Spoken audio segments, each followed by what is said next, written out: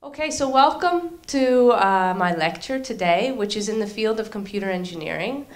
And before I start, I should tell you that I, I have a little bit of a cold. So if you uh, don't hear me very well or if I'm not clear, just let me know. I may also need to sit down after a while, but hopefully we'll be okay.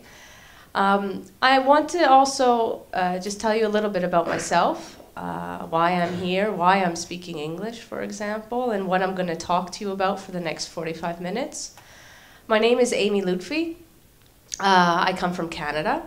And like many teachers here at the university, I don't only teach, I do uh, research. And I have a background in engineering, so I I'm a, an electrical engineer uh, a civilingenjör, as you say in Swedish, in electrical engineering. And I'm working at the Department of Science and Technology, which is a fairly large department at this university. And I'm also part of a research group uh, called the Center for Applied Autonomous Sensor Systems. And it's a, it's a very long word that basically means that we work a lot with sensors, robots, and intelligent systems. And my lecture today is going to tell you a little bit about what these are. Um, I actually came to Sweden to do research. So I, I, first came as an exchange student, and this is something many of our students have a chance to do uh, during their bachelor degree is to go away for six months or a year. And I came to Sweden from Canada for six months and during that period, I actually had uh, a few teachers that I thought were very inspiring who taught me a lot about some of the things I'm going to teach you about today. And that motivated me to come back and do uh, a PhD. And then I was stuck here ever since. So I'm very happy to be here. I'm very happy to give you this lecture today. And I hope that I can inspire you and give you an idea of of what are the topics we talk about, not only in our computer engineering programs, but also in the other types of programs that we have uh, at, at Technique. And the lecture I'll give you today is very introductory. Uh, it is about robotics and intelligent systems. You can consider it sort of the first lecture that you would either have in a course about robotics and intelligent systems, or a lecture that you would have in a course about artificial intelligence. And we have such courses already in the second year of our computer engineering program.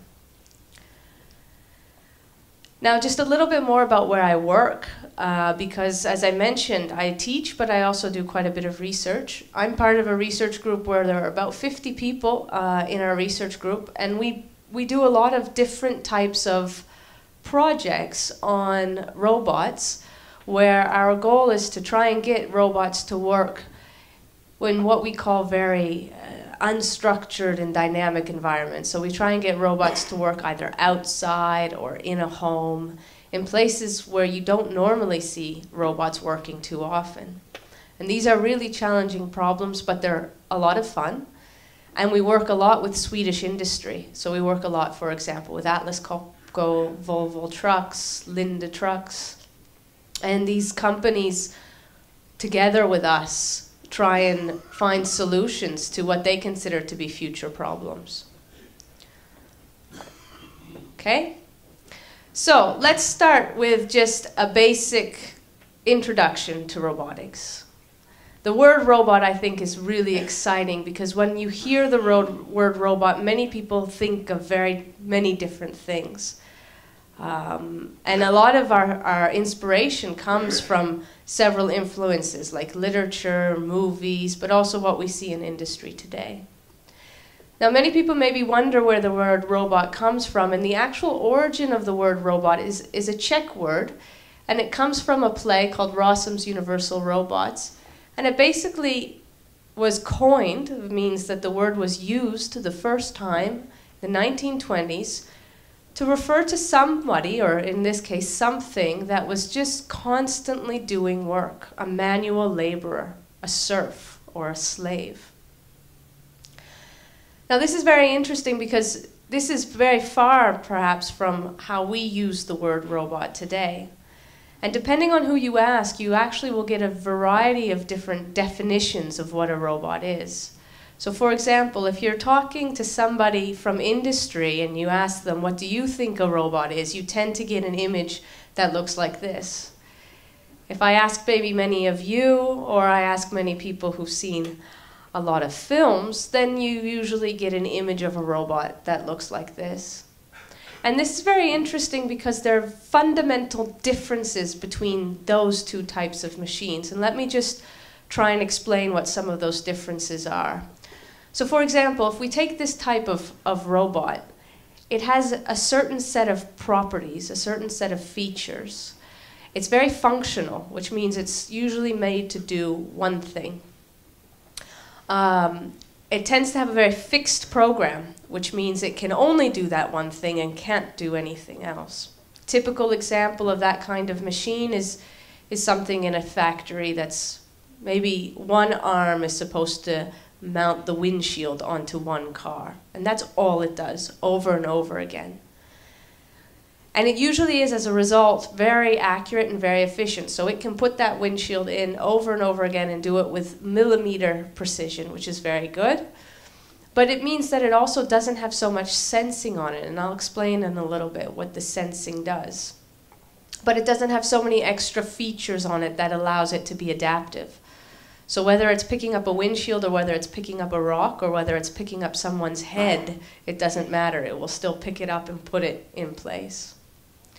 Now, if we look at the opposite, or not really the opposite, but let's say another variant of a robot or another variant of a machine, this type of machine is very different in the sense that it's not functional in the sense that it only does one thing. It usually tends to be multi-purpose. You usually want this kind of robot to do many different things for you. It should lift things, it carry them, it should go from one place to another, and so on.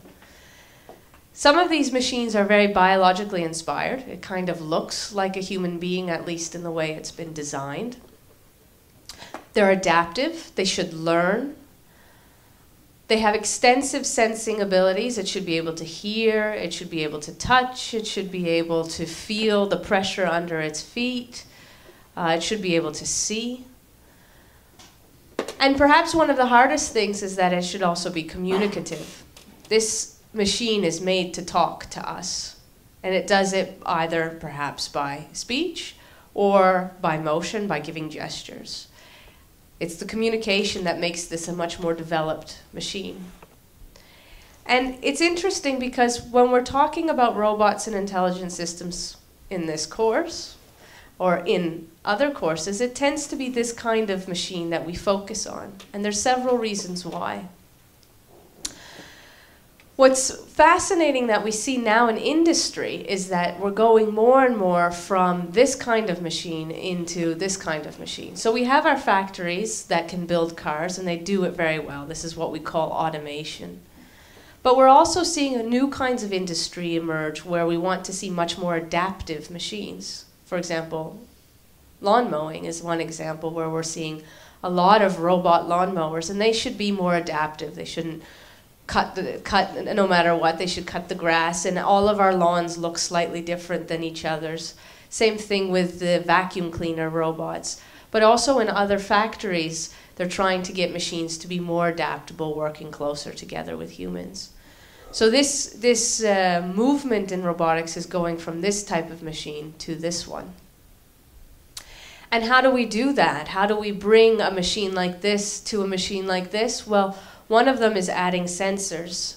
Now, what do sensors do? Well, sensors allow us to understand the world around us. Let's, let's look at ourselves because humans are a very good inspiration when we're trying to make robots. When we need to perceive what's going around us, we use our eyes, we use our ears, a sense of smell, taste, touch. We also have other senses. We sense, for example, how our organs are doing inside our body, the sense of pain. And these help us to behave in the world. I know where I should go because I see where I should go. And the hard thing for robotics, to make a robot really adaptable, to make a robot go from being in a, in a cage to basically going and being into our living rooms and vacuum cleaning, is that it needs to also have sensors. What kind of sensors can a robot have? Well, a robot can, for example, have touch. And we've seen that a robot bumps into something, we have a bumper, and that bumper gets depressed, and then it knows that it's bumped into something, and then uh, it will stop moving. So that's one possibility. The other thing that a robot can have is vision, camera.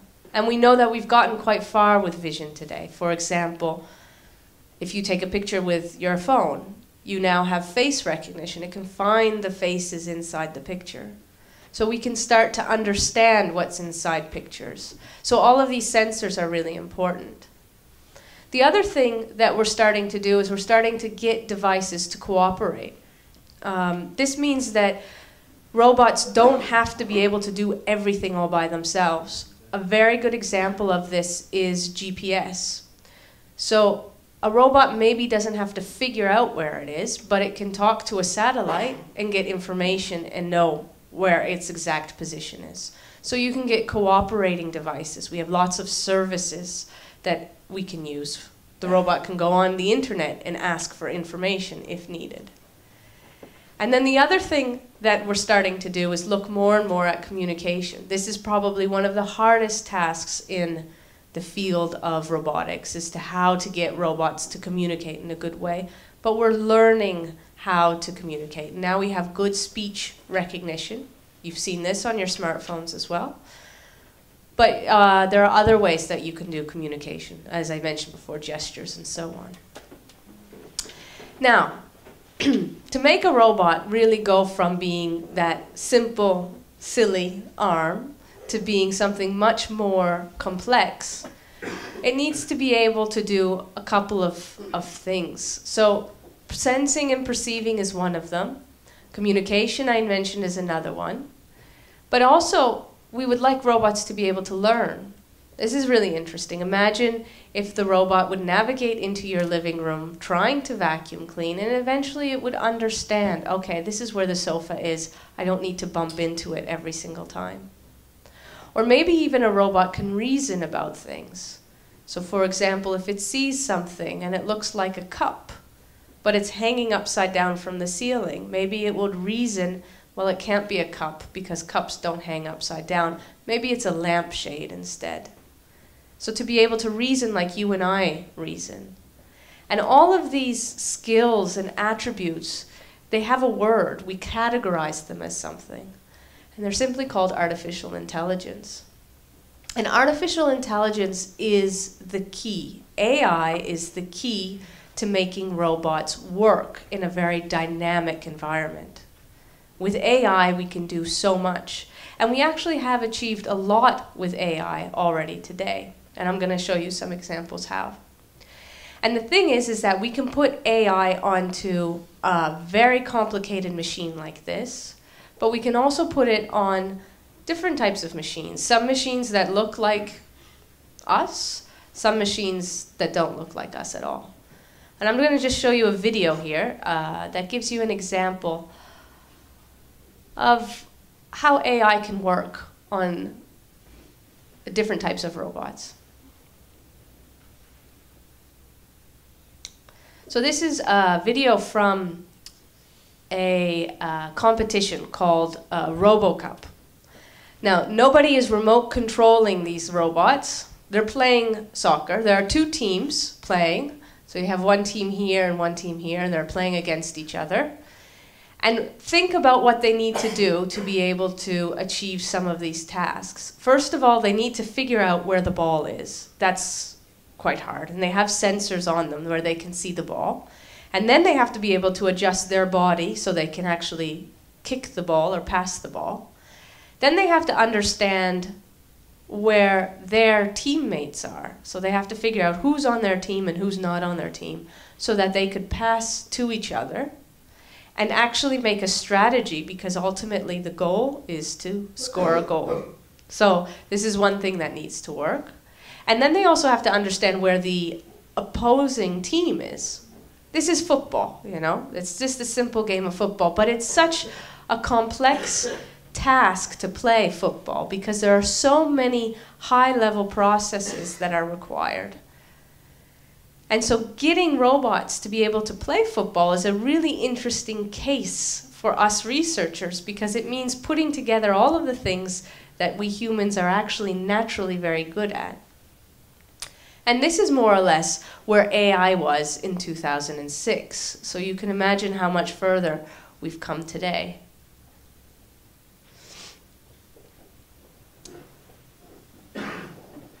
So let's get a bit technical here. So, what is artificial intelligence? Well, there are a couple of definitions, and I'll take you through some of them. So, AI. Um, well, first, let's start with artificial. So, artificial, simply not natural or real, typically made by us. Intelligence is the power of perceiving, learning, understanding, and knowing. Notice that these were the key words, particularly the perceiving, learning, which I talked to you about before, how we can get machines to learn and so on. Some definitions. Artificial intelligence is the design the stu and study of computer programs that behave intelligently. It doesn't maybe give us so much more information. AI is the branch of computer science that is concerned with the automation of intelligent behavior. So, how you get something to be intelligent and to run intelligently by itself.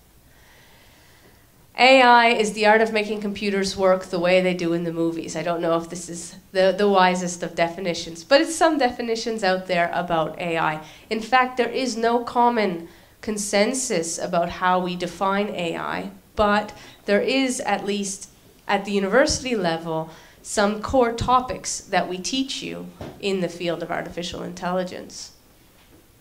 Now, typically, as a researcher, and working within the field of AI, we say there are two types of AIs. There's what we call weak AI, and weak AI is basically the illusion of AI. So it's basically making a machine seem as if it's intelligent, but it, it isn't really. I think you might have encountered such examples, for example, uh, when you're browsing. IKEA has one. You can ask a question. You know, you go into the corner of the screen and there's some kind of bot that will uh, accept a question. It can usually accept a question in any format. What it does is it looks at the keywords in the question and then sees if it has anything in the search results that match those keywords. And if you write something silly like, please go away, I don't like you, you'll get some random response back, like, thank you very much, have a nice day. So it's not a smart intelligence. It's what we call a weak intelligence. It's the appearance of it. But then there is strong AI. Uh, and strong AI is really having um, the full intelligence, and even to the point where machines almost seem to have a real conscious mind. We don't have strong AI today, it doesn't exist. We have something in between, but much closer to the weak AI. And I think to some extent our goal is to reach here, but not always. And I'll explain a little bit more what that means. And strong AI, we've seen examples of in, in different movies. So if we can uh, make AI and make machines that are capable of artificial intelligent thinking, how do we, how do we know it? How do we test for AI? This is something that researchers have been thinking about for quite some time. And there's different ways to do it. One of them is something called the Turing test. Alan Turing was one of the, uh, let's say, pioneers in the field of artificial intelligence, and maybe some of you have already heard of, of Turing before. And he made up this test that was quite simple, really. He said that if you separate let's say, uh, two people by a, by a room, so they don't see each other. And I'm in one room and I'm typing questions like, hello, how are you? And on my screen, I get answers. And in the other room, there's either a person answering or a computer answering. So let's say I'm in my room, I say, Hi, how are you doing? And I see on my screen, I'm fine, thank you, how are you? And I'm having a dialogue. And you ask me, do I do you think I'm talking to a machine or to another person? And I say, oh well, based on these responses, I must be talking to another person. But actually, the truth is, I was talking to a machine. Then, according to Turing, that machine is intelligent. So it's a weak AI, you see? So he thinks that if you can fool a human being into thinking it's interacting with another human, then the machine is intelligent. A lot of people don't agree with Turing on this. In fact, I don't agree with Turing on this because, in fact, the test for intelligence should be more than that. But this is what the literature is saying. And in fact, if any of you are interested, there is a very big contest every year called the Loebner Prize where you make a Turing machine. So there are students who make a Turing machine, a machine that can answer these kind of questions, what we call chatbots. And if you're able to fool the judges that it's actually a person, then you can win this, this prize, which is a large sum of money. So that's one way in which we can test for intelligence, but in my opinion, it's still not an adequate way to test for intelligence. Now, why did I put these pictures up? Well, because after this discussion of how do we test for intelligence, there were two researchers, Russell and Norvig, who are big guys in the field of AI, who said, forget the Turing test. The Turing test, it's, it's not important.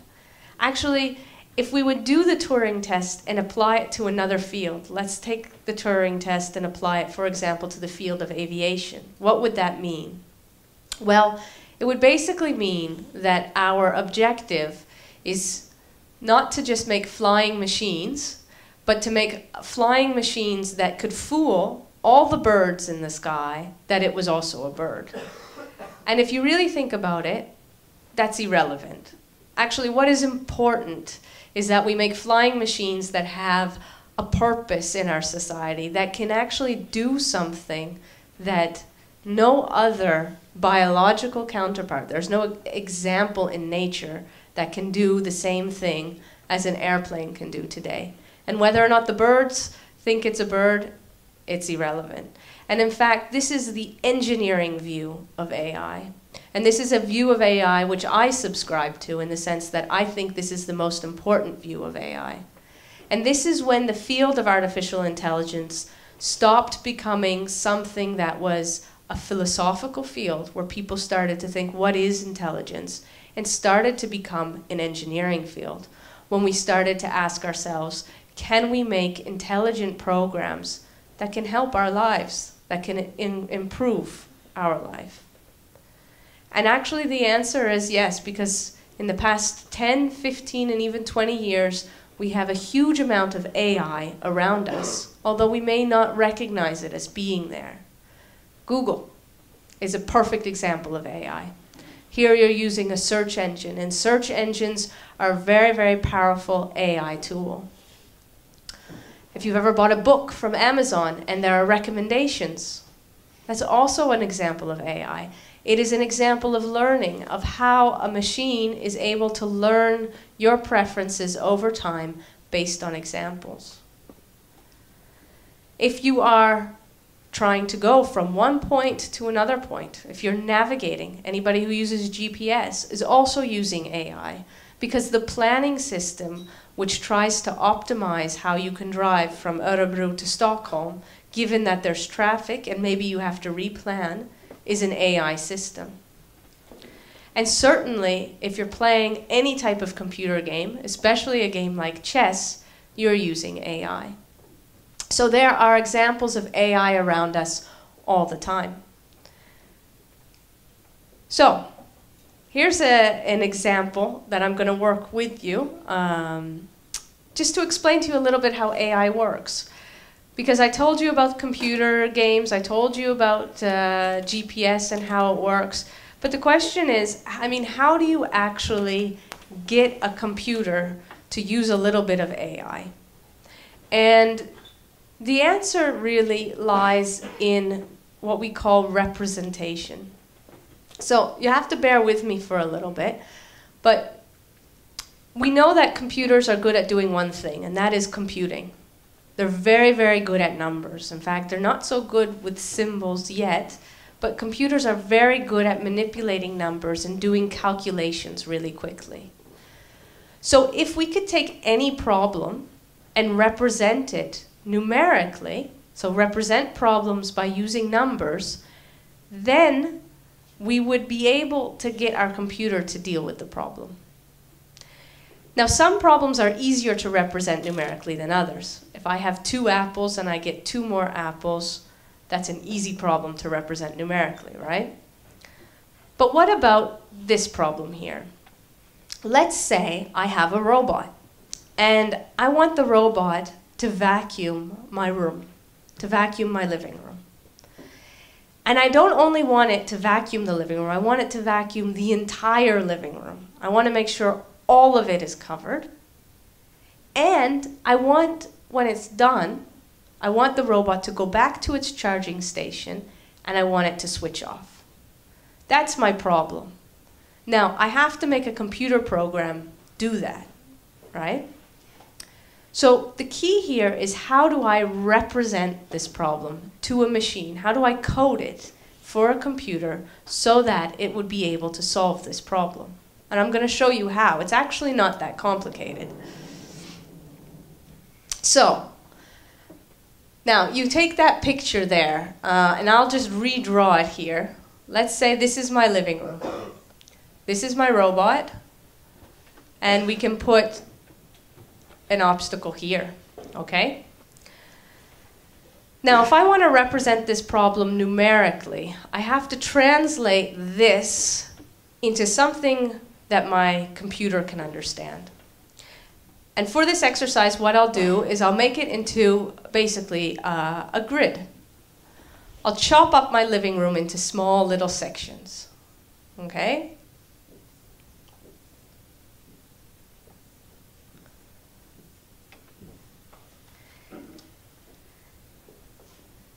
So now I have these, these grids, each, each, each cell basically is an area of my, of my living room. And I'll say that this, this cell, I'll, I'll give it a, a location. Let's say it's location zero, zero. This is the starting point, okay? And I will say that I'll put inside each cell a number if I am at my starting point, I'll put the number one. So let me just represent that over here. So that number one is actually in here, okay? And if I haven't been anywhere, I'll put the number zero. So I put zeros here like this. And I'll just draw it here. So I have one, two, three, four, five. So one, two, three, four, five. And one, two, three, four, five, six. So one, okay? And so on. So now basically I've just chopped up my living room and I've put numbers in each spot. And I've marked my starting point, which is actually where my robot is, as being number one. Okay? Then I will let my robot uh, wander. I'll let it move. And as my robot moves, it's kind of like you remember the story of Hansel and Gretel. As they went through the forest, they left a breadcrumb beside, behind them. Well, I'll let my robot do the same thing. So as my robot takes a step forward, it will basically leave a number behind it. We already have used number one, so as it takes a step forward, it will leave the number two, and as it takes another step, it will leave a number three, and take another step, leave the number four. So I'll let my robot move around here. So let's say the robot goes from this position here, it goes here, here, here. So the robot has moved from one, and then it leaves a bit of a trail behind it. Two, three, four. Okay? So the robot is moving and leaving a trail behind it. Now let's say the robot tries to go here, and here I have my sofa. So the robot tries to go down to the sofa, but it receives a bump. Good thing it has sensors, right? So it gets its bump. And when it receives a bump, we make a rule and we say, okay, every time you get a bump, why don't you again leave a number, but instead of leaving an incremental number, why don't you leave a really high number that indicates a bump? So if, if it got a bump when it tries to go down to the sofa, let's say you leave the number 1,000. Okay? And we know the sofa is still here. Actually, the sofa covers about two, two grid marks, so we can leave 1,000s here. So this indicates where my, where my sofa is on my map. All right? And then maybe the robot would wander a bit more. Let's say it goes, it bumped here, it didn't work. So maybe the robot will go to this position here. So it leaves a 5 behind it there, and a 6, and a 7. First of all, before I go any further, when you see this structure of numbers, can anyone tell me what this is? If I do this, do you see what it is? There's a word for it. What is this called? Mathematically. Starts with the letter M. And there was a nice movie about it. Someone said it. Say it louder. Very good. This is a matrix, right? It's, and this matrix is simply a representation of my living room with the location of the robot inside. How is it a representation of my living room? Well, I have a thousand where I have furniture, and I have a trail where my robot has been. Okay, so I have this nice matrix. By the way, if you ever wonder why the movie is called Matrix, this is the reason why. This matrix is the representation of the real world, mathematically. So if I go back to my problem and I say the robot has to clean the entire room, well, if I've managed to represent my world as a matrix, how can I make the robot clean the entire room? The answer is simple. I make a rule and I say, I want to make the robot go everywhere so that there are no more zeros in my matrix. And if I find a zero, so if I know there's still a zero, I send the robot to that position. Okay? So that way I can explore the entire matrix.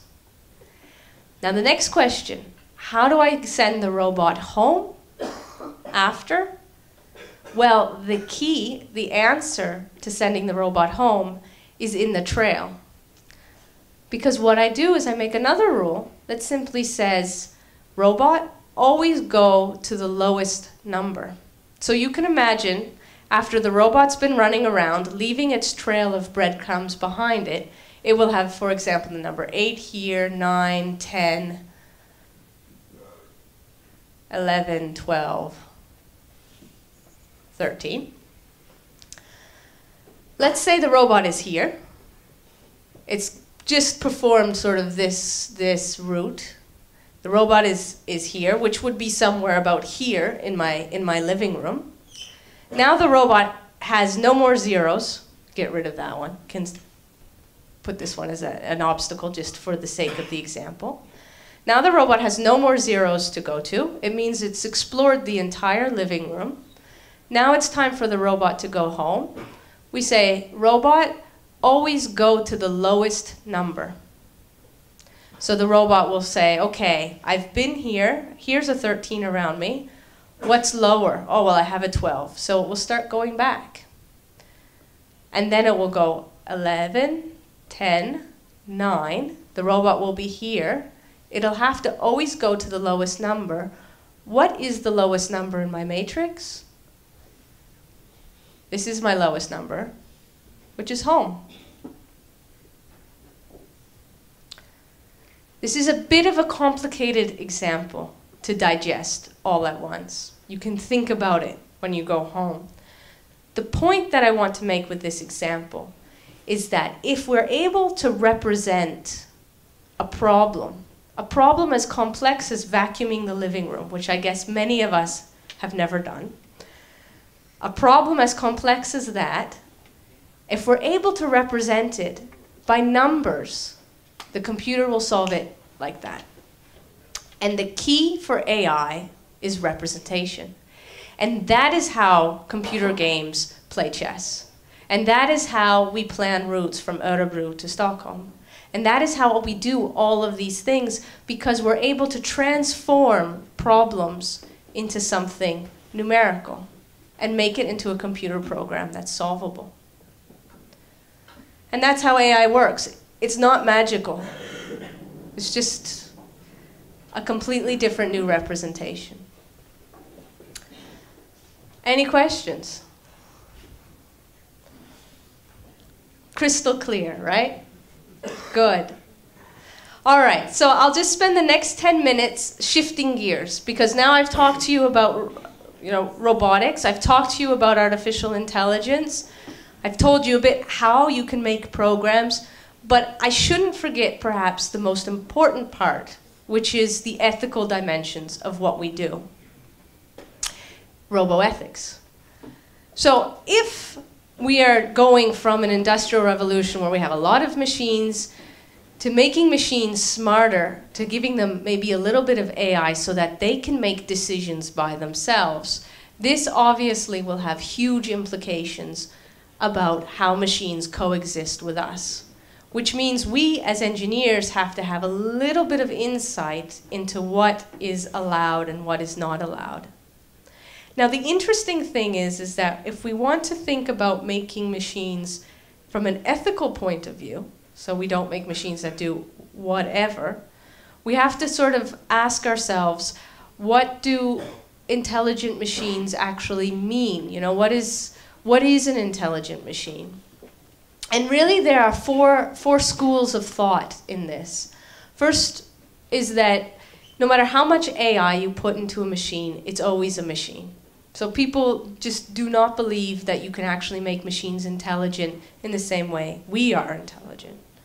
That's one school of thought. The other one is, well, they do have somewhat of an ethical dimension. There's another school of thought, and this one is quite frightening, actually, and this is that you can actually make machines have their own sense of morals. I'll explain this a bit later. And then there's also a fourth one, which is equally frightening, which is about the fact that people believe, there are some people who believe, that we are sort of creating a new species by making machines intelligent. So there's some people who are very frightened by the fact of putting robots and AI together. But the point is, is that when we talk about roboethics, really, fundamentally, it boils down to human ethics. So roboethics is not any different than the same ethics that regulate people who do, for example, genetic testing. It is the ethics that applies to us as humans who are designing robots. And what is very interesting is that when we start talking about roboethics, we see that we cannot escape the cultural debate. Different people with, from different cultural backgrounds have different opinions about how ethics should evolve with robotics. Um, just to give you some examples. So, Western culture, especially European, North American culture, we tend to look at machines only as machines. We like to see our machines as being tools. And we are very, very concerned that machines will do something bad. Uh, and this you see in our pop culture and our media. It actually comes from our literature from a long time ago. We've been talking about having uh, autonomous machines for a long time. Frankenstein is an example. Golem is another example. Um, this is not the Gollum from Lord of the Rings, but there's another Golem which is about a, an autonomous machine. And in fact, all of these examples in our literature about machines show our robots somehow taking over and for some reason attacking us. What's interesting is that if we go to the other side, let's say if we go to Asia, particularly if we go to Japan, they have a completely different view. And in fact, most of their machines are viewed as victims of our, let's say, human cruelty as opposed to the other way around. So usually their machines are much more innocent. And as a result, we see that when it comes to regulating how we develop machines, we have different attitudes. Historically, we have different attitudes about what's, what's allowed. And I'm going to show you two, two case studies. Uh, one of them is basically showing you the fact that uh, robots are nothing else but machines. This was a, an incident that happened here in Sweden. And the other example is showing you that there is an ethical dimension uh, uh, robots. Both of them are related, let's say, to real cases, and one of them is more on robots being used in industry, and the other one is robots in uh, science and technology. so let's take the Swedish case that happened. Um, so, not very long ago, uh, just outside of Bålsta, there was a, um, a mobile arm that was working in a factory, and the task of the arm was to pick up, basically go down, pick up a, a, a rock, a, a, a concrete block, move it, and, and drop it. So it just did that repeatedly. And it was in a cage. And one day, the, an employee who believed the machine was switched off walked into the cage, and the machine was not switched off, and the machine turned on because it was triggered by his movement, went down, picked him up by his head, lifted him up, and dropped him. It didn't know, you know, it, it, it thought it was a, a, a concrete block. Now, what was interesting was all of a sudden, uh, a huge uh, media storm was raised because the question was how could a robot, which they had assumed was intelligent enough to know the difference, it, how could it harm a, a person? And the headlines were very interesting. For example, robot abuses employee. Like you would never see something like this if someone fell off their ladder you would never say a ladder has abused someone. But in this case, the robot has abused an employee because the robot is perceived as having a certain amount of intelligence. Now, the question was who's to blame? Ethically, whose fault is it? Is it the fault of the guy who walked into the cage? Is it the fault of the boss who didn't protect his employees well enough? Is it the fault of the engineer who built the robot? How many of you think it's the fault of the guy? Raise your hand. And the fault of the boss? And the fault of the engineer? Most of you attribute to the guy. Actually, it's the boss. So it is the employer who was found to be mostly at fault, with some of the fault on the guy, but actually he was able to get some compensation for, for the fact that they had this accident. Simply because the safety rules were deemed not adequate enough. But what is interesting, again, as I said, was that this all of a sudden awoke a debate.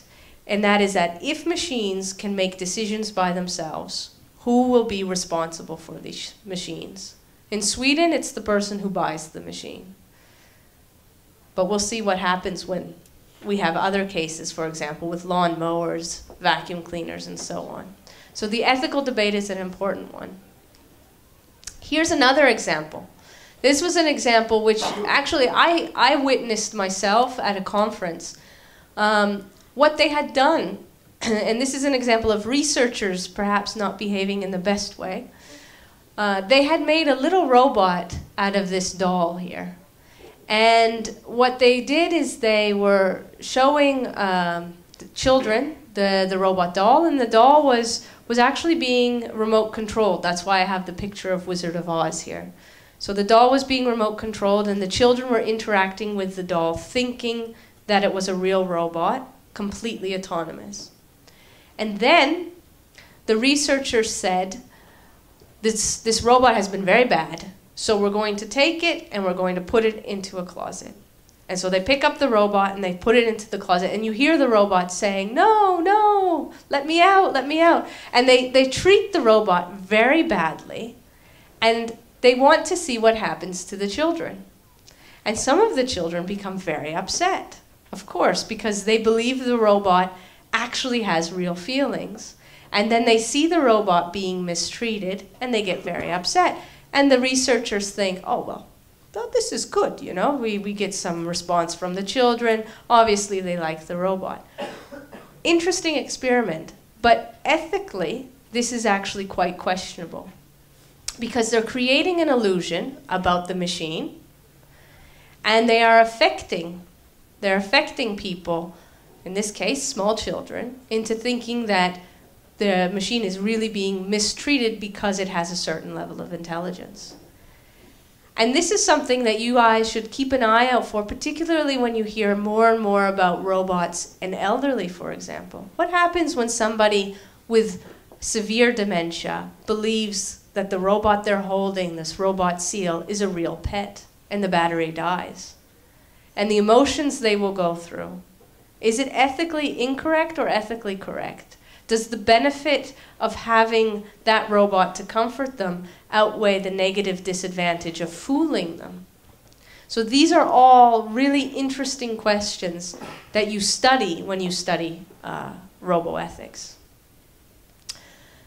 So I'm just going to summarize now. Uh, my intention was to give you sort of a, a taste of some of the key topics in robotics you saw that maybe robotics is a very complex field. It involves a lot of different things. And I tried to focus on the fact that AI is a very important component. And I also talked to you a little bit about the philosophy about AI, but we are inspired by also many other different areas, for example, art, um, uh, neuroscience, linguistics, these are all coming into the field of robotics. So it's a very multidisciplinary field. Some people just see it as a purely technical one, but it's not. In fact, we pull a lot of inspiration from a lot of different things. And today I've tried to show you some examples of robots. I showed you very lightly how we do AI, and you can study AI for uh, many years. So it's a, quite a, uh, an in-depth field. And I've also tried to explain to you the importance of thinking ethically when we look at AI and robotics. So thank you very much, and I'm open to questions if you have them.